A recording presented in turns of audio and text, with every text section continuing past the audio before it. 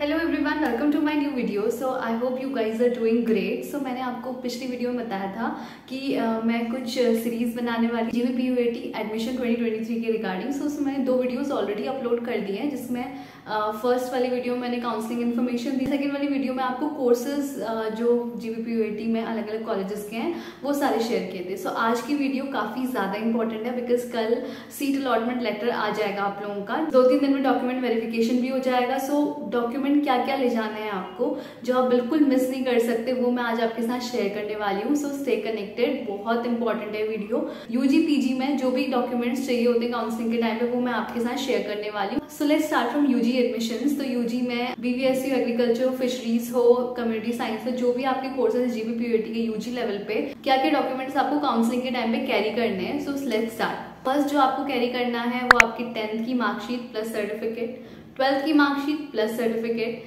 TC और CC उसके बाद आपका आधार कार्ड भी आपके पास होना चाहिए।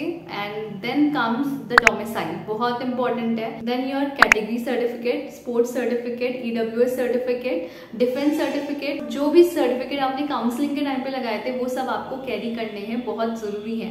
ठीक है कैटेगरी के हिसाब से। स्पोर्ट्स कोटा वगैरह लगाया होगा तो वो भी आपको अपने साथ कैरी करना है एनएसएस का। मैं आपके सामने कुछ स्क्रीनशॉट्स भी प्रोवाइड करी उनका लिंक मैं पीडीएफ फॉर्म में आपको डिस्क्रिप्शन में दे दूँगी। ये भी आपको कैरी करना है अपने साथ बट अगर आप नहीं कर पाते हो तो आप कोई बात नहीं, आप पंदगर से बनवा सकते हो। किसकी बात करिए मेडिकल सर्टिफिकेट बनता है एंटी रैगिंग फॉर्म बनता है पेरेंट्स का एफिडेविट चाहिए होता है। ये सारे जितने भी सर्टिफिकेट्स हैं, ये आप या तो पन्नगर में एडमिशन के बाद दे सकते हो, वो आपको दो तीन दिन का टाइम देते हैं, ये सबमिट करने के लिए। पन्नगर में ही साइबर शॉप जो है, वहाँ से बनवा सकते हो। वहाँ पे इजिली सारे काम हो जाते हैं। अदरवाइज़ अगर आप बनवा के ला रहे हो तो आप तहसील से भी बनवा सकते हो। जैसे मेडिकल सर्टिफिकेट तो गवर्नमेंट हॉस्पिटल में ही बनता है। एंटी रैगिंग फॉर्म है, वो तहसील में बनता है। प्रोस्पेक्टस में इसका फॉर्मेट दिया हुआ है तो आप वहाँ से भी चेकआउट कर सकते हो। लिंक मैं डिस्क्रिप्शन में दे दूँगी पीडीएफ का।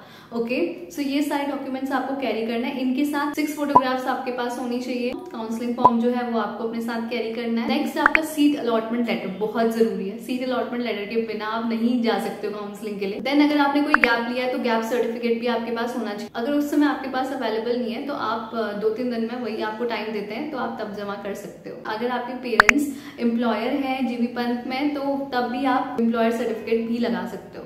सो so, ये सारे डॉक्यूमेंट चाहिए थे मैं आपको लिस्ट प्रोवाइड कर रही हूँ ये कुछ लिस्ट है।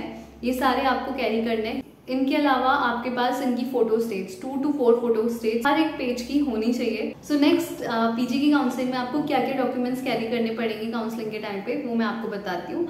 So first of all tenth की मार्कशीट प्लस सर्टिफिकेट ट्वेल्थ की मार्कशीट प्लस सर्टिफिकेट ये तो बहुत ज़रूरी है। उसके बाद डोमिसाइल आपके पास होना चाहिए। फोटोग्राफ्स होनी चाहिए सिक्स पासपोर्ट साइज़ फोटोग्राफ्स चाहिए सिक्स टू एट कुछ होनी चाहिए। देन आपका सबसे इंपॉर्टेंट पीडीसी पीडीसी के बिना वेरिफिकेशन नहीं होता है। तो पीडीसी कैरी करना बिल्कुल मत भूलना। एंड देन आता है आपका फाइनल ईयर मार्कशीट अगर आपके पास फाइनल ईयर मार्कशीट नहीं है तो इंटरनेट डाउनलोडेड मार्कशीट भी चल जाएँगे, कोई दिक्कत नहीं है। वो आपको सबमिट करने के लिए टाइम देते हैं तो कोई दिक्कत नहीं है। उसके बाद टीसी एंड सीसी अगर आपके पास टीसी या सीसी नहीं है अभी फ़िलहाल क्योंकि आपका अगर रिज़ल्ट में कोई प्रॉब्लम हो रही रिज़ल्ट नहीं आया है तो थ्री मंथ्स का टाइम देंगे तो उसके आसपास आप सबमिट कर सकते हो not a big issue so उसके बाद आपको आधार कार्ड अपना कैरी करना है। देन आपका category certificate sports certificate EWS certificate ये सारे सर्टिफिकेट्स आपके पास होने चाहिए जो आपने काउंसलिंग के टाइम पे फिल किए थे। Okay okay? इनके अलावा भी आपके पास कोई सर्टिफिकेट है? अगर आपने काउंसलिंग के टाइम पे वो लगा रखा है तो आपको वो भी कैरी करना बहुत ज़रूरी है। देन अगर आपने कोई गैप लिया है तो उसका सर्टिफिकेट भी होना चाहिए। अगर आपके पास उस टाइम पे अवेलेबल नहीं है तो आप दो तीन दिन के लिए वो टाइम देते हैं तो आप तब सबमिट कर सकते हो नॉट अ बिग डील उसके बाद then very important medical certificate anti ragging form affidavit for parents and guardian तो ये सारे जो चीज़ें हैं, जो मैंने आपको बताई मेडिकल और एंटी रैगिंग फॉर्म ये सब अगर आप उस दिन नहीं भी सबमिट करते हो, अगर दो तीन दिन बाद भी सबमिट करते हो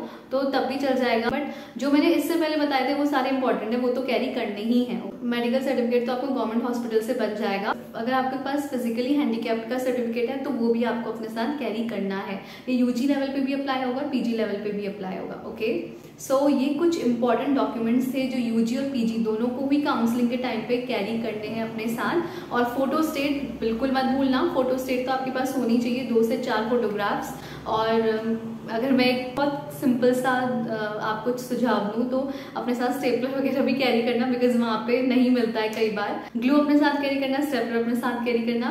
ठीक है? सेकंड काउंसलिंग और स्पॉट काउंसलिंग में बहुत दिक्कत होती है। अगर आप 130 थर्टी वहाँ पर लिखा है टाइमिंग की 130 तक चलेगी काउंसलिंग तो बिल्कुल भी उन पर विश्वास मत करना। बहुत देर तक चलती है, बहुत लोग होते हैं, बहुत सारे कोर्सेज के लिए चलते क्या पता चार या पाँच या छः भी बच सकते हैं। तो अपने साथ ज़रूरी जो सामान है, वो अपने साथ कैरी करना। पानी की बॉटल खाना पीना का खाने पीने का भी इंतज़ाम करके रखना। ये बहुत इंपॉर्टेंट है, बहुत छोटी बातें मैं आपको बता रही हूँ, पर ये बहुत इंपॉर्टेंट है।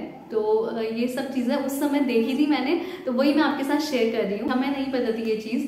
तो मैंने सोचा कि मैं आपके साथ शेयर करती हूँ। अगर आपको ये वीडियो हेल्पफुल लगे तो please give it a thumbs up हाँ और एक इंपॉर्टेंट बात फ़र्स्ट काउंसलिंग में ऐसा नहीं होता है। फ़र्स्ट काउंसलिंग जितना, क्योंकि लिमिटेड बच्चे होते हैं सीट अलॉटमेंट ऑनलाइन आता है तो कोई बहुत बड़ी दिक्कत वाली बात नहीं है। तो जितना टाइम लिखा है, उस हिसाब से हो जाएगी। कोई आपको जल्दीबाजी करने की ज़रूरत नहीं है कि उसमें ऐसा, उन्होंने ऐसा बोला था तो ऐसा होगा। नहीं। फ़र्स्ट काउंसलिंग बहुत इजी पीजी वे में हो जाती है तो बहुत बड़ा इशू नहीं है। अगर आपको वीडियो अच्छी लगे तो please give it a up और कमेंट बताना कि आपको कोई भी क्वेरी है तो मैं ज़रूर सॉर्ट आउट करने की कोशिश करूँगी। And share it as much as possible जिनको भी ज़रूरत है, जो भी अभी जीबीपीएटी की काउंसलिंग के लिए आने वाले हैं, उन सब के लिए वीडियो है। सो शेयर करो। All the best for tomorrow कल सीट अलॉटमेंट हो जाएगा और मुझे कॉमेंट पे ज़रूर बताना किस किस का सीट अलॉटमेंट हो चुका है। और कॉन्ग्रेचुलेशन इन एडवांस गाइस या स्टेट